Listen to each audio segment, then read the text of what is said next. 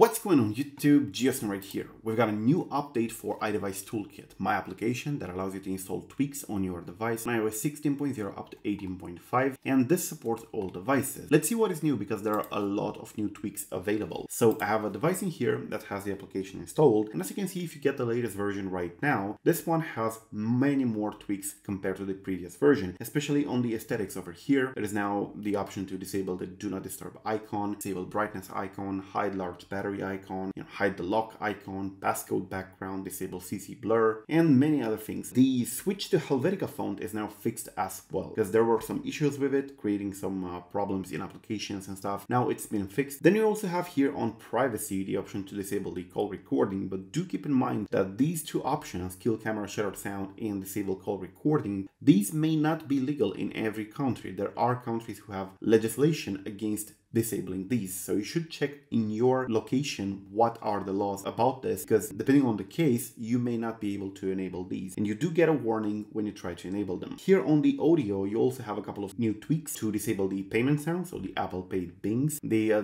low battery sound, and also the uh, charge sound and the airdrop sound, you know, the ping that it makes when you try to transfer file. Now this also includes now an option to keep the tweaks refreshing in the background. For example, this over here, the disable call recording, this one requires location services. And the reason it does that is to keep the application in the background. We use location services to create some sort of background service for the app so that iOS doesn't kill it in the background so that we can keep on applying the tweaks. And if you tap here at the top, this little airplane over here, there's the background settings. And once you give it enough permissions, you can start background monitoring. And with this on, the application will try to reapply the tweaks that require reapplying every so often and it will keep reapplying them in the background so that they do not deactivate. Especially this one over here with the call recording, this one is particularly twitchy and it will require reapplying every 60 seconds or so. I've taken this tweak from MDC0, so big shout out to that. And all these tweaks in here that have been added, the new tweaks, are courtesy of jailbreak.party, so big shout out to those as well. Now you can get the application, the latest version on my GitHub, and it's available here on my website as well. If you go here to iDevice Central, there is the link in the description for iDevice Toolkit, navigate all the way down and there should be the IPA file. But it's also available on GitHub, the version 1.8.0. And this one contains all these changes. So definitely go ahead and take it, try it out, because it contains a lot more tweaks now. This video was brought to you by FlekSt0re. If you want to install your favorite jailbreak like Unc0ver, Dopamine, and Taurine, but also jailbreak tools like Apps Manager, Blank Filza, Trollbox, and Misaka, you can get them without a computer from FlekSt0re. They sign it for you with a certificate you get from them and you don't have to worry about seven days resigning and expiration and revokes. So check it out in the link below. Their catalog of jailbreak applications is just plain huge. Thank you for watching. I'm GeoSn0w. Till the next time, subscribe to stay updated, grab the latest version of iDevice Toolkit, and peace out.